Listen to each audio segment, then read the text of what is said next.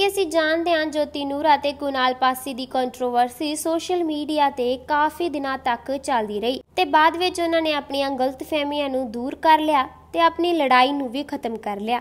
ਉੱਥੇ ਹੀ ਹੁਣ ਮਨੀਸ਼ਾ ਗੁਲਾਟੀ ਨੇ ਵੀ ਇਹਨਾਂ ਦੋਨਾਂ ਬਾਰੇ ਟਿੱਪਣੀ ਕੀਤੀ ਹੈ, ਜਿੱਥੇ ਮਨੀਸ਼ਾ ਗੁਲਾਟੀ, ਜੋਤੀ ਨੂਰਾਂ ਦਾ ਸਾਥ ਦਿੰਦੀ ਹੋਈ ਨਜ਼ਰ ਆ ਰਹੀ ਹੈ, ਉੱਥੇ ਹੀ ਉਹ ਕੁਨਾਲ ਪਾਸੀ ਦੀ ਸਮਝਦਾਰੀ ਨੂੰ ਵੀ ਐਪਰੀਸ਼ੀਏਟ ਕਰਦੀ ਹੈ। ਆਓ ਤੁਹਾਨੂੰ ਉਸ ਵੀਡੀਓ ਦੇ ਨਾਲ ਰੂਬਰੂ ਕਰਵਾਉਂਦੇ ਸਿਸਟਰ ਜੋਤੀ ਨੂਰਾ ਨੇ ਉਹਨਾਂ ਦੀ ਲਾਈਫ ਵਿੱਚ ਥੋੜੀ ਜਿਹੀ ਪ੍ਰੋਬਲਮਸ ਹੋਈ, ਮੈਂ ਉਹਨਾਂ ਨੂੰ ਐਪਰੀਸ਼ੀਏਟ ਕਰਦੀ ਹਾਂ।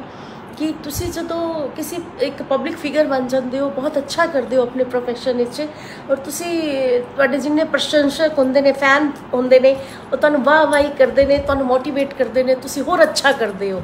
ਪਰ ਜੇ ਤੁਹਾਡੀ ਪ੍ਰੋਬਲਮਸ ਵੀ ਪ੍ਰੋਬਲਮ ਵੀ ਆਈ ਹੈ ਉਹਨਾਂ ਨੇ ਇੱਕ ਐਗਜ਼ਾਮਪਲ ਦਿੱਤਾ ਹੈ ਕਿ ਮੈਂ ਪਬਲਿਕਲੀ ਆ ਕੇ ਵੀ ਆਪਣੇ ਫੈਨਸ ਨਾਲ ਵੀ ਆਪਣੀ ਕਿ ਮੈਂ ਇੱਕ ਸਟ੍ਰੈਸ ਤੋਂ ਗੁਜ਼ਰ ਰਹੀ ਹਾਂ। ਇੱਕ ਉਹਨਾਂ ਨੂੰ ਮੋਟੀਵੇਟ ਕਰਨ ਲਈ ਕਿ ਜੇ ਮੈਂ ਆ ਸਕਦੀ ਹਾਂ, ਤੁਸੀਂ ਵੀ ਆਪਣੀ ਪ੍ਰੋਬਲਮ ਨੂੰ ਸਾਹਮਣੇ ਲੈ ਕੇ ਆਓ। ਚਾਹੇ ਕਿਸੇ ਮਿਸਅੰਡਰਸਟੈਂਡਿੰਗ ਨਾਲ ਉਹਨਾਂ ਦਾ ਰਿਸ਼ਤਾ ਖਰਾਬ ਹੋਣ ਦੀ ਕੋਸ਼ਿਸ਼ ਹੋਈ, ਪਰ ਉਹਨਾਂ ਨੇ ਨਾਲ ਇੱਕ ਹੋਰ ਮੈਸੇਜ ਦਿੱਤਾ ਕਿ ਕੋਈ ਵੀ ਐਦਾਂ ਦੀ ਪ੍ਰੋਬਲਮ ਨਹੀਂ ਹੈ ਜਿੰਦਾ ਸੋਲੂਸ਼ਨ ਨਾ ਹੋਏ।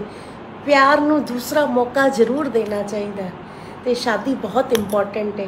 ਤੇ ਅਸੀਂ ਜੋਤੀ ਨੂਰਾ ਨੂੰ ਐਪਰੀਸ਼ੀਏਟ ਕਰਦੇ ਆ ਕਿ ਉਹਨਾਂ ਨੇ ਜਿਹੜਾ ਵੀ ਇਹ ਕਦਮ ਚੁੱਕਿਆ ਜਾਂ ਪਹਿਲੇ ਪ੍ਰੋਬਲਮ ਹੋਈ ਔਰ ਇਸ ਪ੍ਰੋਬਲਮ ਨੂੰ ਸਮੇਟ ਲਿੱਤਾ। ਦੋਨਾਂ ਹਸਬੰਡ ਵਾਈਫ ਦੋਨਾਂ ਦਾ ਬਹੁਤ ਵੱਡਾ ਬੜਾਪਾ ਨੇ, ਇੱਕ ਮੌਕਾ ਦਿੱਤਾ, ਚਾਹੇ ਕਿਸੇ ਮਿਸਅੰਡਰਸਟੈਂਡਿੰਗ ਨਾਲ ਹੋਏ, ਅਸੀਂ ਐਪਰੀਸ਼ੀਏਟ ਕਰਦੇ ਹਾਂ ਔਰ ਉਮੀਦ ਕਰਦੀ ਹਾਂ ਕਿ ਤੁਸੀਂ ਇਸੇ ਤਰ੍ਹਾਂ ਹੀ ਸਪੋਰਟ ਕਰਦੇ ਰਹੋਗੇ।